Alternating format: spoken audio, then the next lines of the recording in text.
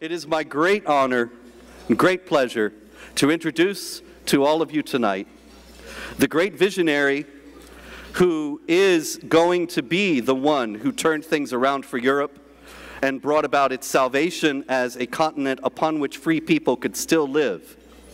And the one man who has stood firm uh, all these years against absolutely extraordinary and crushing pressure to give in.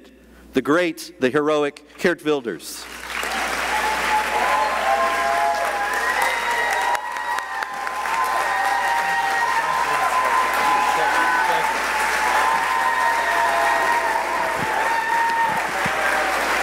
Thank you.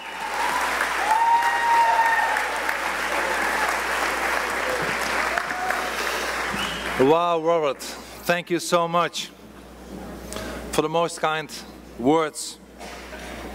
So, hello, America, how are you tonight? It's an honor for me, really, to be at Restoration Weekend again. And it's a pleasure to be amongst friends. I see so many here, brave people with strong convictions and love for freedom. People who supported me for so many years, like the great David Horowitz himself. Thank you, David.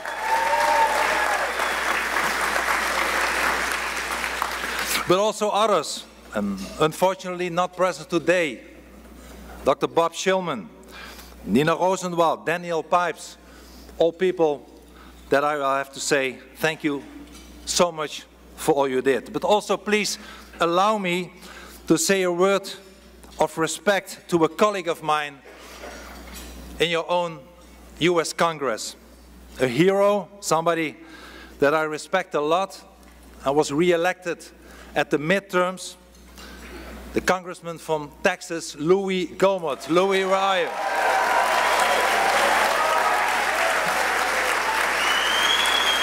Thank you.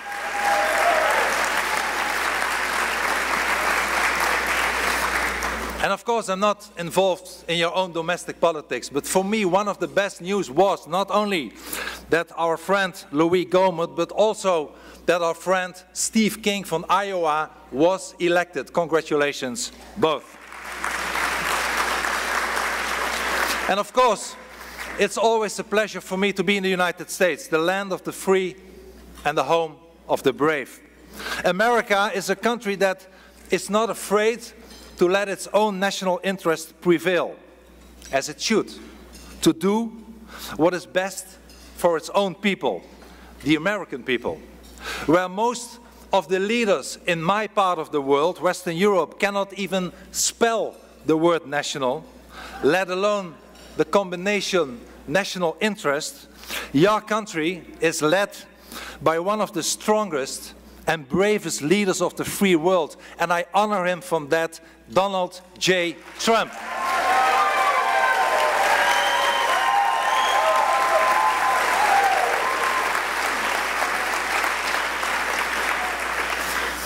Europe desperately needs more strong leaders like Mr. Trump. For we are fighting for our existence. And I'm not exaggerating. Our freedom, our way of life, our culture, our identity, our national security are at stake and heavily under attack.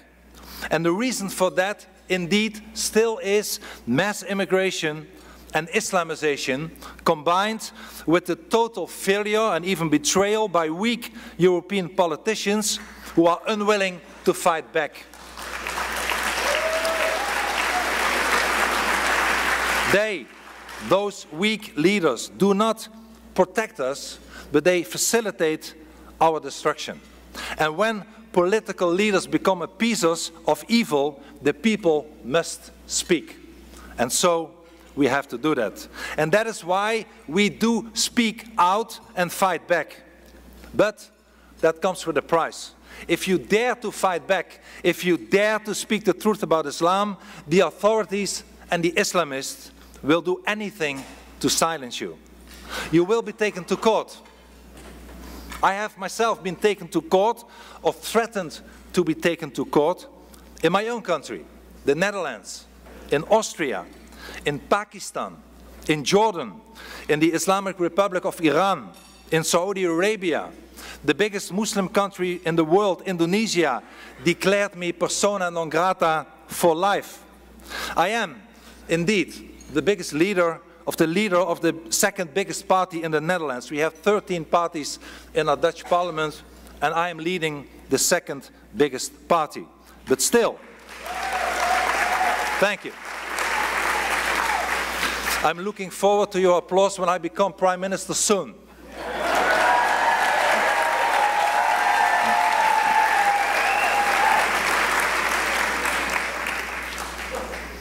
Others are people taken to court too in Europe. Recently, the European Court of Human Rights upheld a guilty verdict of an Austrian court which sentenced a friend of mine, Elisabeth Sabaditsch-Wolff, for speaking the truth and nothing but the truth about Mohammed when she suggested that Mohammed had pedophile tendencies, saying that speaking the truth is punishable by law in Europe today. Or my brave friend Tommy Robinson, who was even jailed, who was jailed while reporting about Pakistani raping gangs in the United Kingdom. He deserved a medal, not a conviction. But my friends, it is not only legal jihad. Unfortunately, it is also real jihad. I am on the death list of Al Qaeda, the Taliban, ISIS. Recently, I got another fatwa, this time from a Pakistani clerk who called upon all Dutch Muslims to go in my house and kill me. My wife and I live in safe houses. We have 24-7 police protection for more than 14 years now. I am driven to Parliament every day by the police in a motorcade of armored cars with sirens. The only freedom I have left today is my freedom of speech. Why do I need this protection? I am not a president. I am not a king. I am a simple parliamentarian. But I am marked for death. Why? Why? For speaking the truth about Islam and fighting for the freedom of my people. But my friends,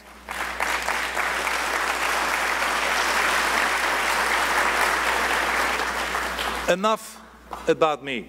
It is not about me.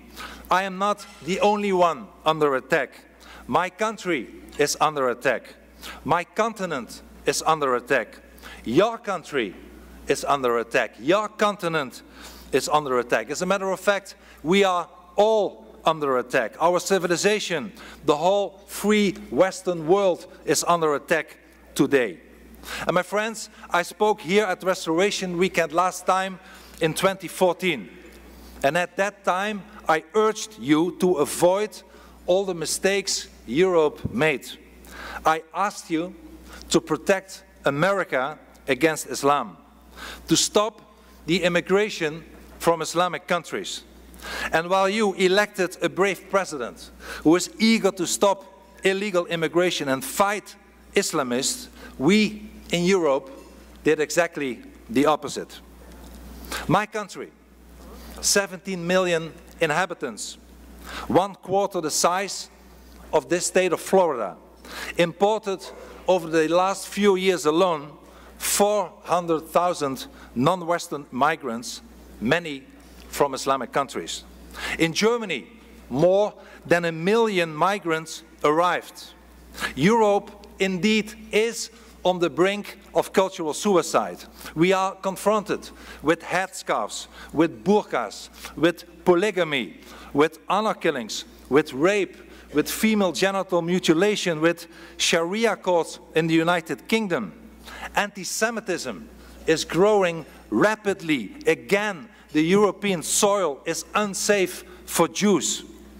In my own country, Moroccans are the largest ethnic groups along Islamic immigrants, and two-thirds of the Moroccan boys between 12 and 23 have already been arrested at least once.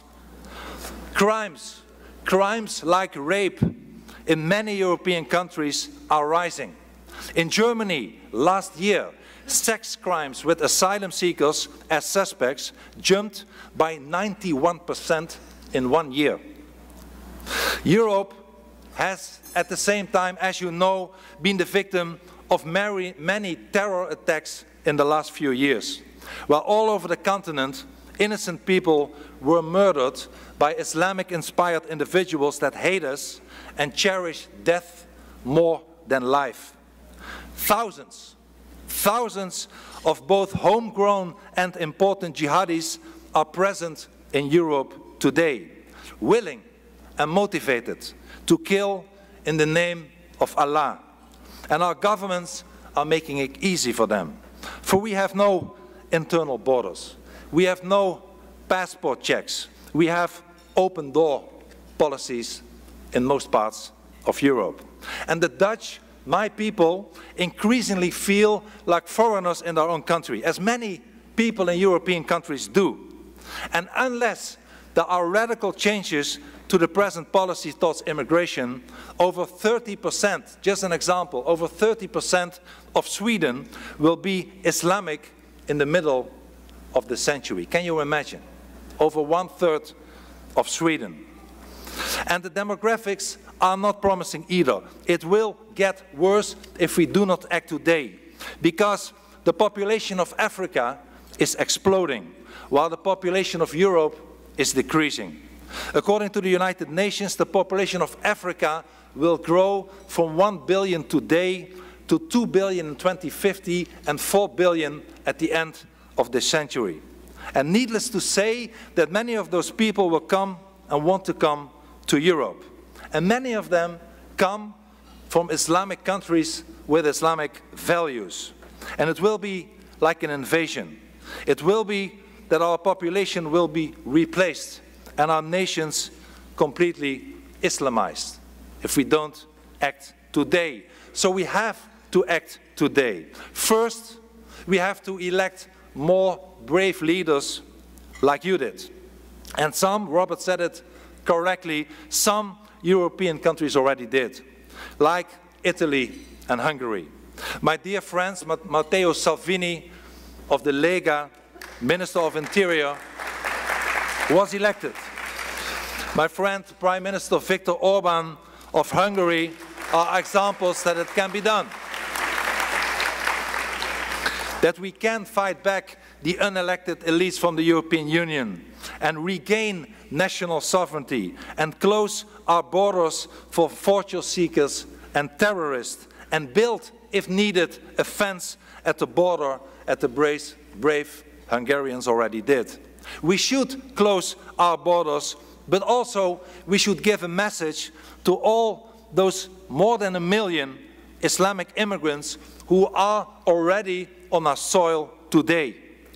If you subscribe to our laws, to our constitution and to our values, you are welcome to stay and equal to anybody else, for those are our values.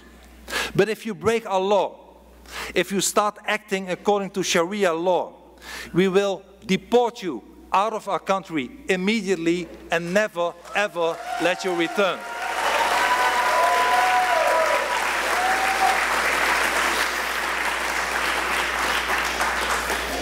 For this is our land and not your land. But we should do more.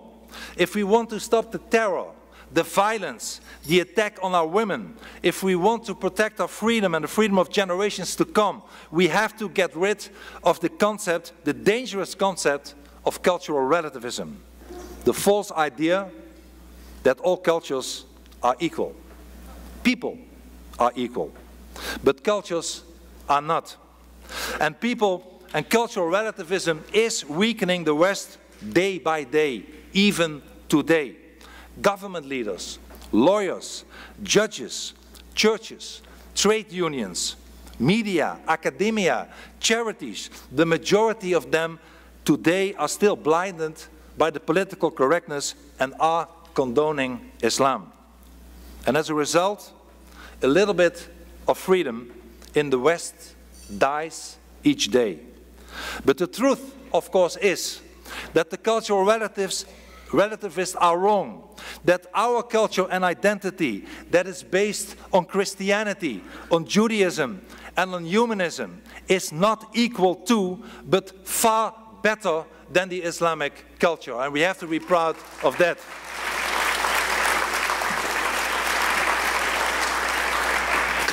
For our civilization is based on the legacy of Jerusalem, of Athens and Rome, and it's the best civilization on earth.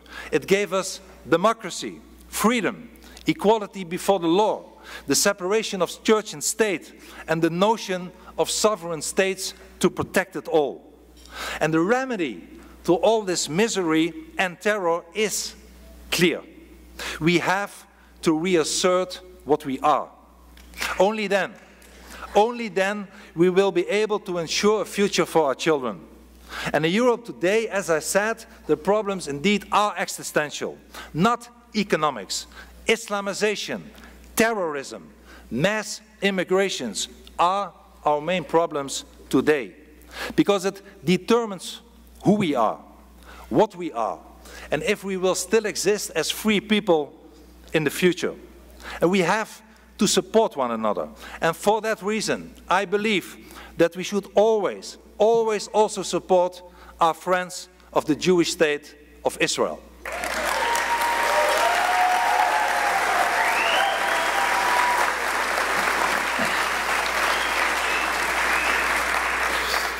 For Israel it's one of us. It's the only democracy in the Middle East. It's a beacon of freedom in a very dark and unfree region. It is forced to defend itself against the dark forces of Sunni and Shia Islam. And it is our duty to support Israel. It's a vital outpost of our Western civilization. It's the canary in the coal mine. And if Islam would conquer, to conquer Israel, my friends, we will be next. Let us never forget that. Samuel Huntington was wrong. There is no clash, and the Israeli Arab conflict is the best example that Huntington was wrong. There is no clash of civilization, there is a clash, clash between a civilization and barbarity. That is the truth.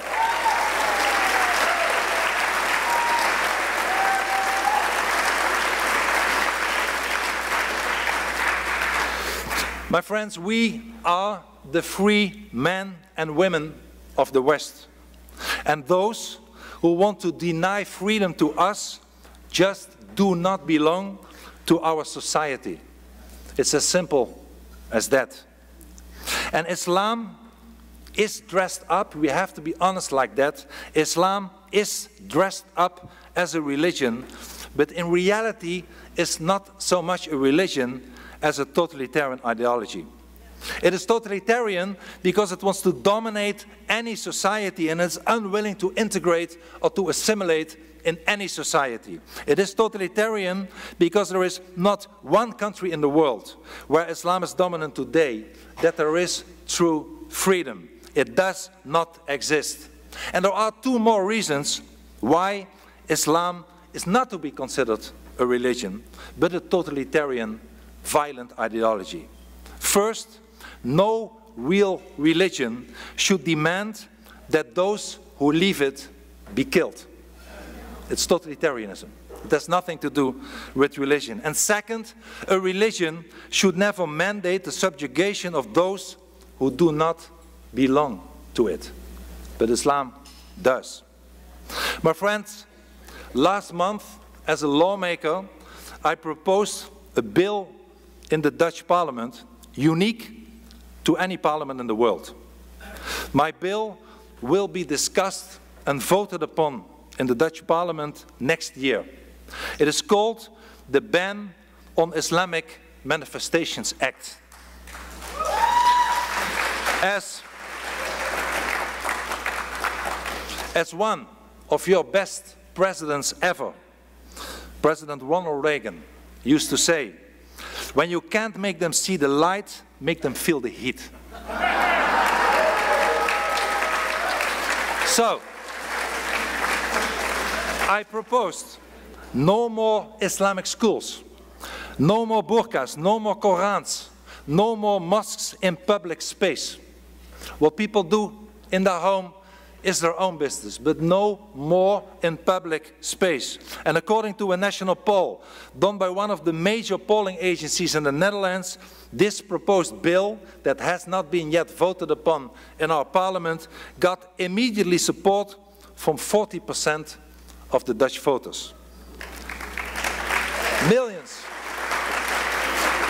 millions of people from Christian Democrats to conservatives, and even, even one third of the electorate of the Dutch Socialist Party were in favor of that proposal. We have to face the facts. Moderation in the face of evil is evil itself.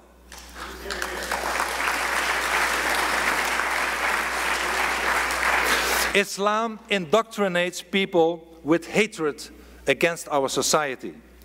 And your own, America's sixth president, John Quincy Adams, was right when he said, and I quote, the precept of the Quran is perpetual war against all who deny that Muhammad is the prophet of God. End of quote. As was Winston Churchill, the great British wartime prime minister, when he called Islam a retrograde force. Of course, there are many moderate Muslims, but there is no moderate Islam. Let nobody fool you, there is no moderate Islam. And Islamic terrorists may be a minority, but Paul suggests that they have the support of the majority. Surveys in my own country reveal that 73% of the Islamic population in the Netherlands consider Muslims who went to fight to Syria to wage jihad to be heroes. 73% of the 1 million Muslims in Holland.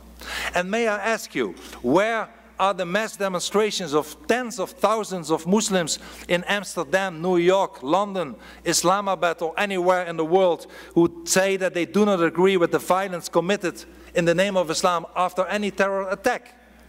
Did you see it? Did you witness this? Where are they when radical Muslims call for the Christian Pakistani girl, Asia Bibi, to be hanged for blasphemy just because she was a Christian, is a Christian. Where are they? They are not there. The majority may not commit violence, but they do not oppose it either. That is the truth. And of course, the majority of the Muslims are not committing crime or actual terrorism. The question is, however, if the silent majority allows things to happen.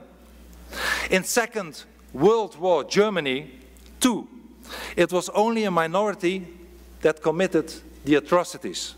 But the majority allowed it to happen. In the Soviet Union, too, it was only a minority that committed the horrible crimes. But the majority allowed it to happen. So my point is that by depriving Islam of the means to destroy our identity, we are not violating freedom, we are preserving freedom. We are preserving and guaranteeing freedom and our identity. And it would be a contradictory to sign the praise of freedom while at the same time standing idly by when Islam is eating away our freedoms. So I say, stop this charade. We should not turn freedom into a snake eating its own tail. Islam, at the end of the day, wants to dominate, wants to enslave us, wants to get Sharia law as the acting law and fight and even kill anybody who resists or dares to reject it. And Abraham Lincoln, the American president who liberated your country from slavery, said, and I quote, Those who deny freedom to others deserve it not for themselves. End of quote. And I fully agree. It is, it really is not wrong to discriminate between good and evil, between democracy and tyranny, between freedom and slavery. The terrible situation that we are in today is caused by our tolerance of evil. We are too tolerant to the intolerant. We are too tolerant to Islam. We think that by allowing freedom to the enemies of freedom, we prove the world that we stand for freedom. But in reality, by refusing, by refusing to draw the boundaries to our tolerance, we are handing away our freedom. We are handing it away. And I, don't, I do not want that. I do not want Sharia law in the West. I want the West to be free of Sharia law.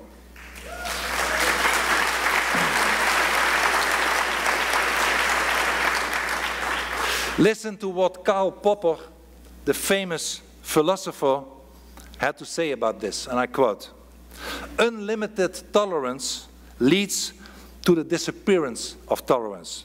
If we extend unlimited tolerance even to those who are intolerant, if we are not prepared to defend a tolerant society against the onslaught of the intolerant, then the tolerant will be destroyed and tolerance with them. End of quote. So we should not be tolerant that we open the door to the horror of intolerance. It is our duty as Western patriots to protect our children from slavery, to adopt a sensible view of freedom, to secure our continued existence as free individuals in a free society. We live today in an age where people like the idea of having rights as long as they do not have to pay a price for it. But when duty, when honor commands them to defend those rights, they often flee away and turn against it to do their duty. They call us sometimes even extremists. They drag us to court. They try to silence us or even kill us. But my friends, let us not fool ourselves.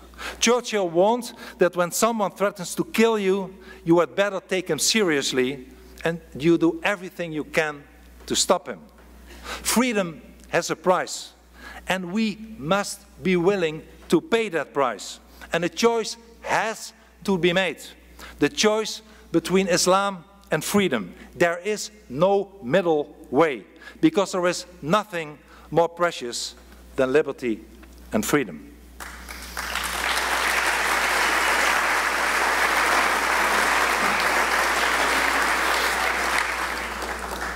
Submission is unacceptable.